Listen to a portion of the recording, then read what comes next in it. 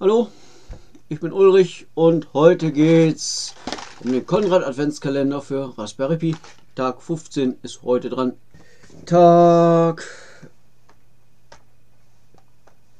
15. Ich bin ja immer noch gespannt mit Tag 16, weil da sind irgendwie zwei Kästchen.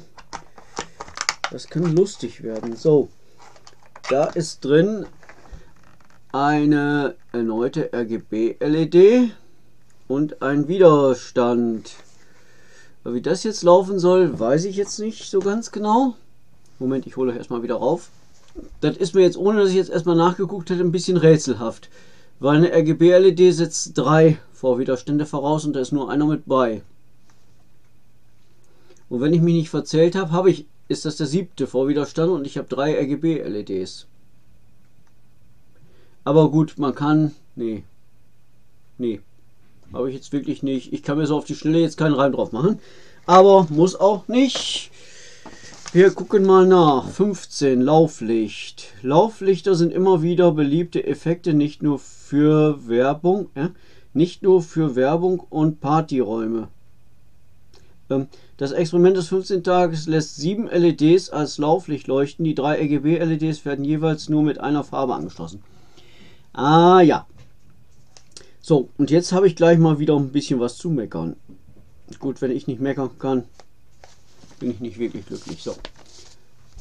Wer sich diese Schaltung mal anguckt, schwarz-weiß gedruckt, eine LED ist blau und eine rot.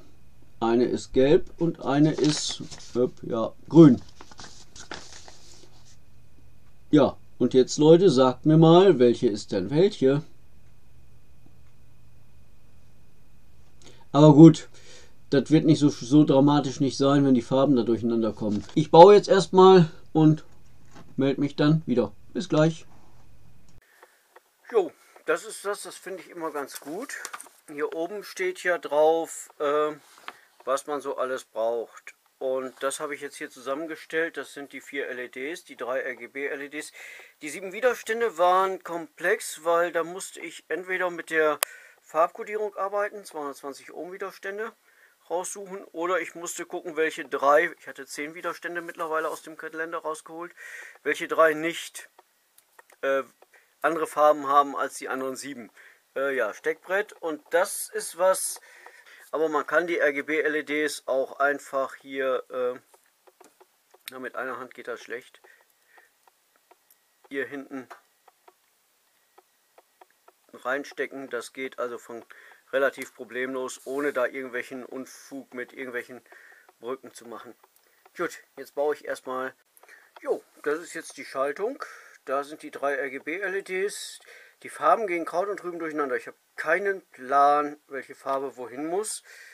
Es war schon, äh, ich habe mich hier jetzt entschieden, die mal nicht mit brachialer Gewalt da einzustecken, sondern die Brücken wie sie hier vorgesehen sind, zumindest so ähnlich zu bauen. Das führt zwar jetzt dazu, wenn man hier von der Seite guckt, äh, dass die weiß, dass die RGB-LEDs etwas vor den Farben stehen, aber gut, im Zweifel, wenn man das wirklich bauen würde, würde man das ja nicht auf so einer Platine machen, sondern in so einem Gehäuse und dann werden die auch gerade, hier geht es ja zum Verständnis. Bei den Gipos da hinten habe ich jetzt mal drauf geachtet, na sagen wir mal besser, ich habe versucht darauf zu achten, dass die Farben auch richtig angesprochen sind. So, hier passiert was Interessantes. Da oben ist ja die Krabbe. Wenn ich jetzt sage grün. okay. Gut. Jetzt sind Tag 15.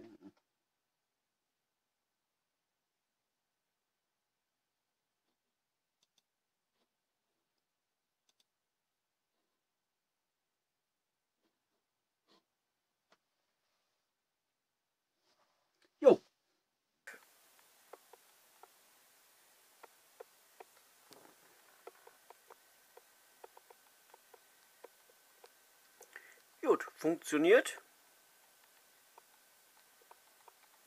Kann man sich stundenlang angucken und wir gucken uns das jetzt auf dem Screen Recorder nochmal an, äh, wie das Programm läuft, welche Eigenarten und ähnliches. Bis gleich.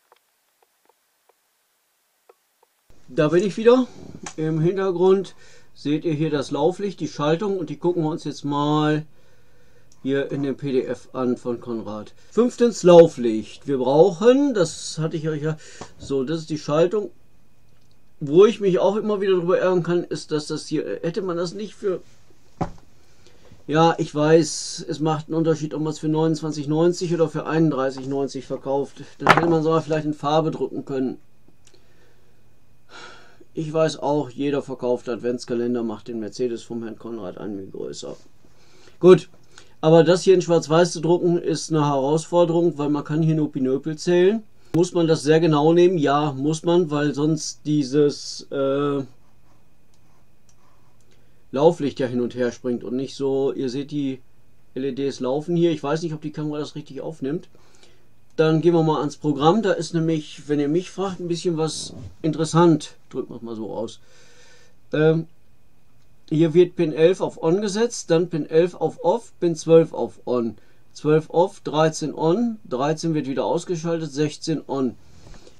Im ersten Moment interessant fand ich, weil bei den anderen Programmen, wo wir sowas hatten, wurden erstmal die Zustände von den, das war bei diesen Ampeln damit, äh, teilweise vier, fünf äh, Farben drin. Ja, wurden ja erstmal alle fünf Farben definiert. Rot ist jetzt an, gelb ist off, grün ist off und Fußgängerrot ist auch off und Fußgängergrün ist on. Das wurde ja erstmal definiert und dann wurden ja nur immer die Schaltzustände geändert. Das ist hier anders. Aber die Frage, die interessante Frage, die sich mir jetzt stellt, ist bei diesen Fußgängerschaltungen, ob das da nicht genauso gemacht werden könnte. Diesem Lauflicht da unten kann man noch stundenlang zu gucken, ne? In diesem Sinne, als nächstes kommt Fach 16.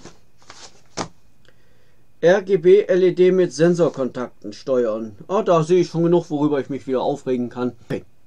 Bis Tag 16. Tschüss.